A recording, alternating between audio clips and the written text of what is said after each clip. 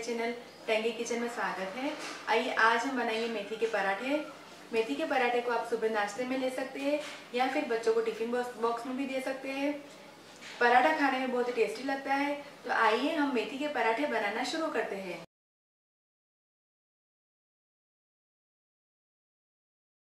मेथी के पराठे बनाने के लिए मैंने यहाँ पे एक कप गेहूँ का आटा, एक बड़ा चम्मच दही 25 gram paneer, one fourth cup मटर। मटर के दाने को मैंने मिक्सी में ग्राइंड करके फिर उसका पेस्ट लिया हुआ है।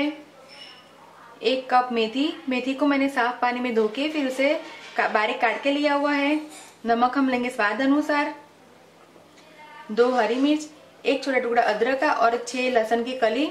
मैंने तीनों की पेस्ट साथ में बना के ली हुई है। आधा छोटा चम्मच चाट मसाला। एक छोटा चम्मच kitchen kitchen king masala powder, एक छोटा चम्मच मलाई और तेल हम लेंगे ज़रूरत के अनुसार। तो आइए हम पराठा बनाना शुरू करते हैं। आटे को मैंने पहले से बड़े बर्तन में लिया हुआ है। आइए अब हम इसमें मटर डालेंगे। मटर डालना ऑप्शनल है।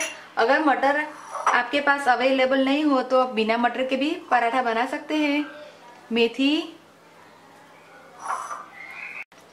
चाट मसाला अदरक, हरी मिर्च और लहसुन की paste kitchen king masala powder मलाई,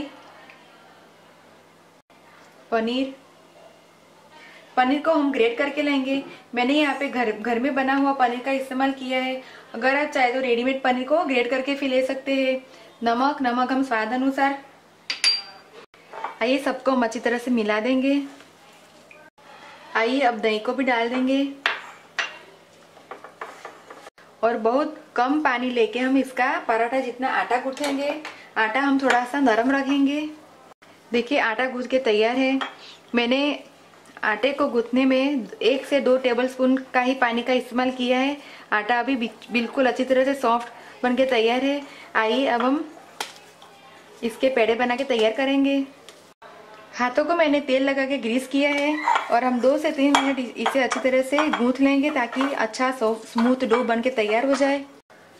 देखिए, मैंने आटे में से सात इक्वल पार्ट पार्ट बना के तैयार किया है। आइए, एक लोहे को हम उठाएँगे और उसका ऐसा पेड़ा बना के तैयार करेंगे। ऐसे सारे हम पेड़ा बना के तैयार कर देंगे।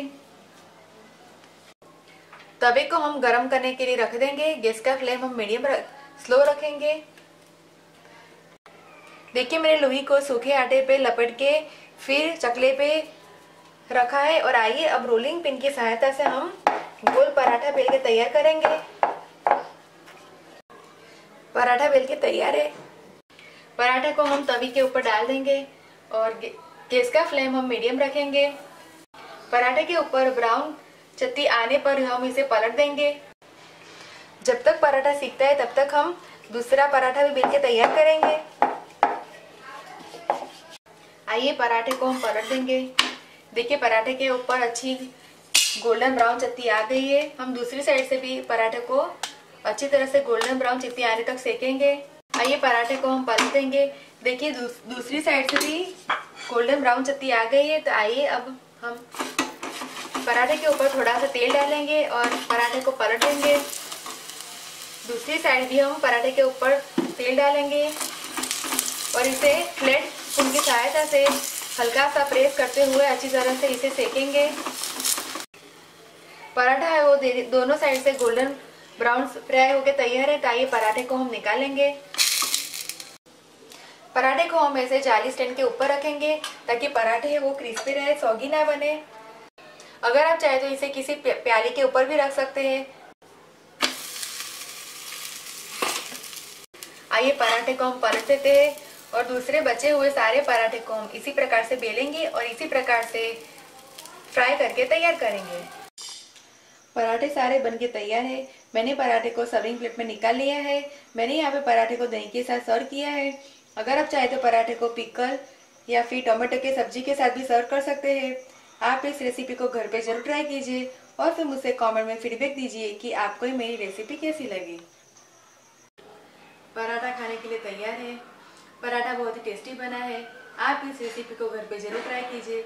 अगर आपको मेरी रेसिपी पसंद आए तो आप मेरे वीडियो को लाइक कीजिए, ज़्यादा से ज़्यादा शेयर कीजिए, और मेरे चैनल को सब्सक्राइब कीजिए, ताकि आप मेरे और भी नए वीडियो देख सकें।